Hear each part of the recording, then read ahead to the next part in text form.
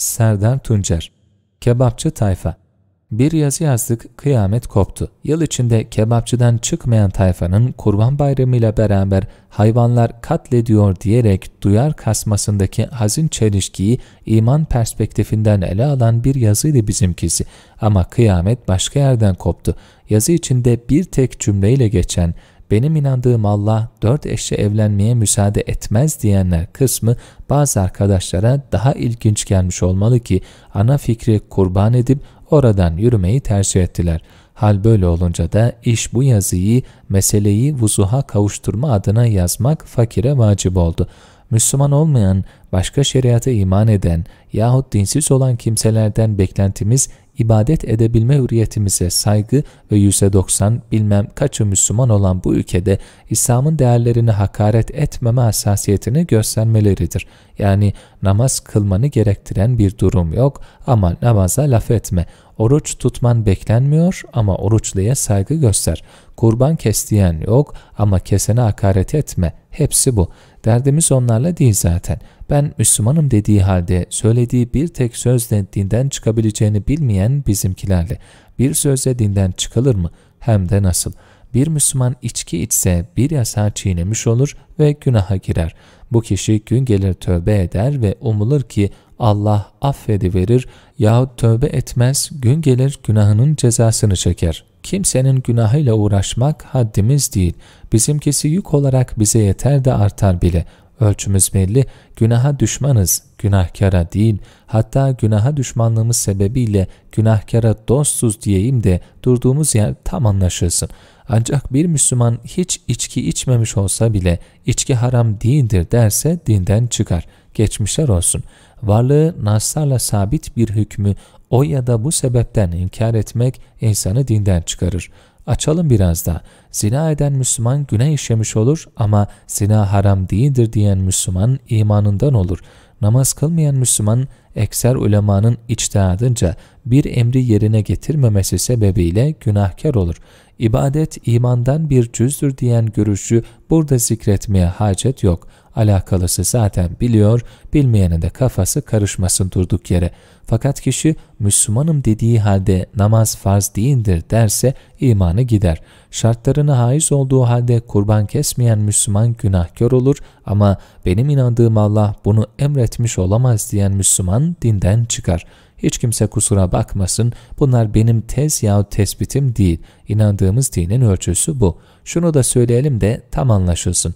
Kur'an-ı Kerim'in değil bir hükmünü, bir tek harfini inkar dahi Müslümanın imanına kasteder. Buradan bakıldığında bu hükümler tartışmaya asla açık değildir.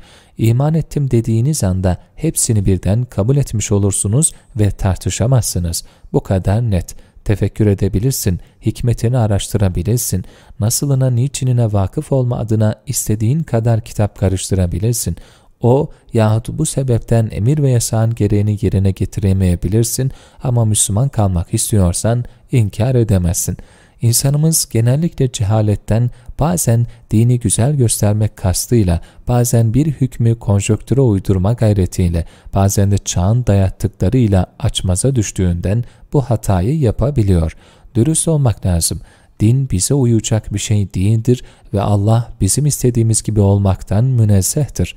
Şayet ben Müslümanım diyorsak biz dine uymaya gayret edeceğiz. Biz Allah'ın istediği gibi olma derdine düşeceğiz. Buna takat yetiremiyorsak hiç olmazsa dinin emir ve yasağını inkar ve tahkir etmeyecek, aklımızın almadığı hükme yok muamelesi yapmayacağız. Bunları yapmanın bizi imanımızdan edeceğini bilecek ve ona göre hareket edeceğiz. Bu bedeli ödemeye göze alanın yolu açık olsun. Bize ne ama söylediği sözün kendisine böyle bir bedel ödeteceğini bilmeyenlere kardeşliğimiz hatırına işin aslını hatırlatmamızda bize çok görülmesin. Teşekkür beklemiyoruz ama dayakta yemeyelim yahu. Gelin itiraf edelim. Suçun büyüğü bizde. Niçin oruç tutuyorsun diye sordular. Allah emrettiği için diyemedik. Fakirin halinden anlamaktan tutun da bir aylık detoksa varana değin pek çok şey geveledik. Niçin namaz kılıyorsun dediler. Suyun değdiği abdest azalarındaki hücre yenilenmesinden namaz hareketlerinin sağlığa tekabül eden yanlarına kadar sırmaladık. Pek çok konuda Allah'ımızı Haşa, haklı çıkarmak için dinimize haksızlık ettik. Bütün bu niçinlere makul cevaplar almaya alıştırdığımız kitle kendilerince haklı bir şekilde her şeyin niçinini sormaya başladı ve biz izaha gücümüz yetmediği yerde çuvallamaya başladık. Gerek yoktu halbuki. Net olalım. Müslüman fakirler et yesin diye kurban kesmez. Allah emrettiği için kestiği kurbandan fakirin hakkı olan üçte biri de verir ve fakir et yer. Fukaranın halinden anlamak için oruç tutmaz. Allah emrettiği için oruç tutar ve nasibi varsa gün içindeki açlığıyla fukaranın halini de tefekkür etmiş olur. Sağlıklı olmak için namaz kılmaz Müslüman. Sadece ve yalnız Allah Teala için kılar. İsviçreli bilim adamları namaz hareketlerinin sağlığa zararlı olduğunu ifade etseler namazı değil İsviçreli bilim adamlarının aklına duyduğu güveni terk eder, iman böyle bir şeydir.'' Ertuğrul Özkök'ü daha fazla yormadan gelelim dört eş meselesine. Dört eşe kadar müsaade mevzu ayetle sabit. Emir değil, buraya dikkat, müsaade. Hatta tavsiye şu, adaletle hükmetmeye güç yetiremeyecekseniz tek eşle yetinin. Bu sizin için daha hayırlıdır. Bu ayet geldiği zaman insanlar bir eşi varken dört eş almaya kalkmadılar. 10-15 eşleri varken diğerlerini boşayıp dörde düşürdüler. Bu müsaade bazı mezheplerce gerek şartlara bağlandı, ilk eşin rızası gibi istismar edilmemesi için nikahın sıhhat şartları net olarak belirlendi. Mevzu derin ve geniş, fazlasını arzu eden fıkıh kitaplarına bakabilir. Müslüman bir erkek ben dört eşle evlenmem diyebilir. Müslüman bir kadın eşimin başkasıyla evlenmesine rızam yok diyebilir. Ancak bir insan ben Müslümanım diyorsa Allah böyle bir şeye müsaade etmiş olamaz diyemez. O günün şartlarında öyleydi, bugün şöyle filan diye tabiri amiyane ile kıvırmanın alemi yoktur. Bir gün gelecek dünya nüfusunun dörtte üçü kadın olacak. O gün bu hüküm anlaşılacak filan diye ayeti akılla izaha çalışmak akılsızlıktır. Ertuğrul Özkök'ün isimlerini verdiği hanımefendilerle bu konuda bir program yapsak sanırım böyle bir müsaadenin ayetle sabit varlığını onlar da kabul ederler. Tercihen eşlerinin böyle bir şey yapmasına rızaları olmadığını ifade ederler. Ben de aslında hiç fena olmazdı ama bizimki beni gebertir diye mukabele ederim. Sonrasında kültür, gelenek, görenek, çağ, ihtiyaç, zaruret, yasalar gibi bazı başlıklar altında meseleyi konuşur ve programı bitiririz.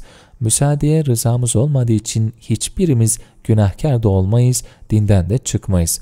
Kolay ve tatsız bir iş olur. Hepsi bu. Yazıyı Ertuğrul Özkök'ünde bana katılacağını sandığım bir soruyla bitireyim.